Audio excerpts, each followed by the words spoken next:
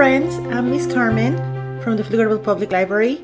I am the Children's Services Coordinator there and I want to welcome you to our Crafty Kiddies program. This is our craft program for kids 2 to 4 years old and today we will be making a paper plate fish.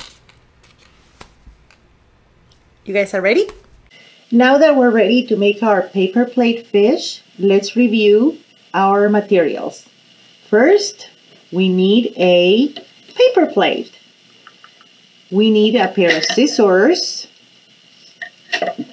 some googly eyes, and remember if you don't have googly eyes at home, you can make your own just by tracing a couple of round items, one bigger and one smaller, to make them, a white and blue or whatever colors you want to use.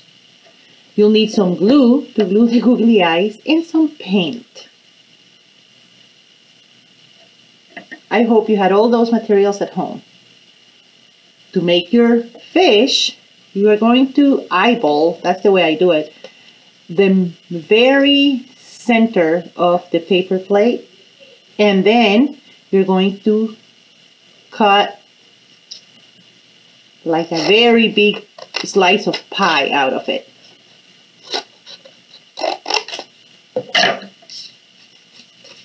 And this is how the paper plate fish goes. The body and the tail. Very well. I like to paint my or decorate the fish before I actually attach it because it just makes it easier and you don't have to wait for the glue to dry before you can decorate it.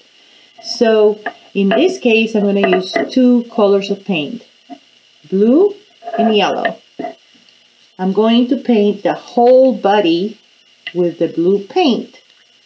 You guys pick different colors. What colors did you pick? I, I wish I could hear what you're saying, but you know what? You can take pictures of your face and send them to me so I can look at them. Yes, send them to my email. Very good. So we're going to paint the whole body.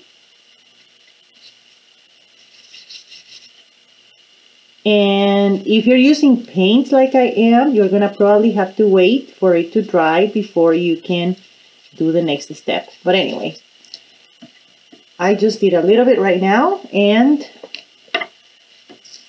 this is pretty much what it is going to look like when you have finished painting it. I had one ready to go and I was um, just saving it for now. So now that it's all dry, I can actually attach the tail. I use glue. You can staple it or tape it, whatever makes it easier for yourself.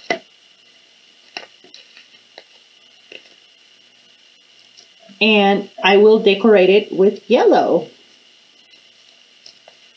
And there is no right or wrong. You can decorate it with whatever you want. You can decorate it with colors, stickers, you can just paint it. I am using the tip of my paintbrush to do dots on my fish. And once it is done or has as many little dots or spots as you want, you can decorate the tail. I actually did some, just, you know, some paint on it.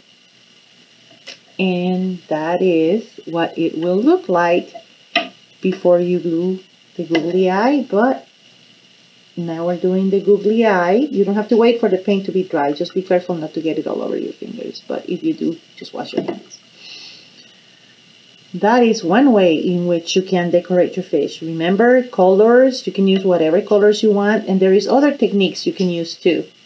I am very um, for tearing paper. Little children, when they tear paper, they get their muscles in their hands stronger, and I have mentioned a few times uh, that strong muscles in their hands help them to write, to cut, to use the scissors for different things. So in this case, this is one I have started, but guess what? I used painter's tape.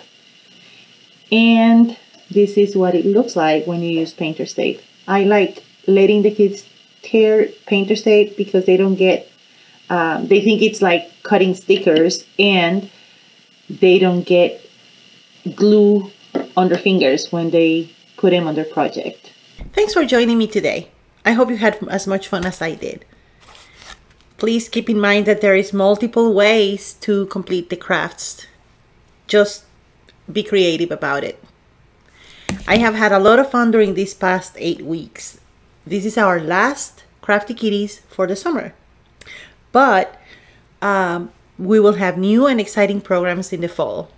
Please make sure you stay posted and if you haven't joined Little Flugers, our Facebook group for kids this age, please do so. Bye everyone.